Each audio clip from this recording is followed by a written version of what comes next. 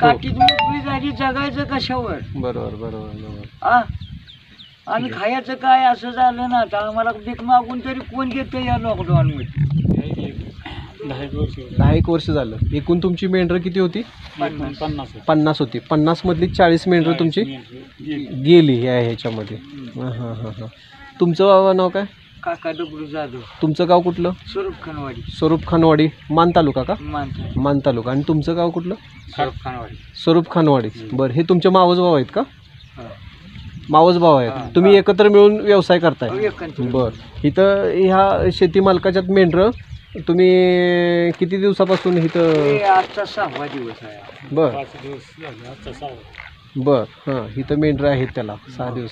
अं, वावर मालकाचं नाव काय म्हणाला?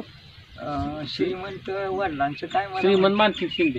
श्रीमंत? शिंदे. मानसिंग शिंदे. मानसिंग शिंदे. यांच्यामध्ये गेले सहा दिवस तुम्ही मेंढरं बसवलं. बसवली होती. हो. हं. आणि काल रात्री अचानक पाऊस आला? अहो ती येईल म्हणजे कळलं नाही. कळलं नाही. हां. पाऊस येईल असंही तुम्हाला काय वाटलं नाही काय वाटलं नाही. नाही. बरोबर. हां. त्या ह्याच्यामध्ये हे झालेलं आहे. तर आता तुम्हाला शासनाकडनं बाबा भरपाई अपेक्षित आहे. की बाबा लवकरात लवकर ह्याच्यावर शासनानं योग्य तो निर्णय घ्यावा अहो काठीत पंचनामा मोकळी करावा. झाली की आमचं जीवन कशावर आता? हां? काठीत मोकळी झाली जगायचं कशावर? बरोबर बरोबर बरोबर. आ? आम्ही खायचं काय असं झालं ना आता आम्हाला भीक मागून तरी कोण घेतं या लॉकडाऊन मध्ये आ? खायचं काय? हो हो हो.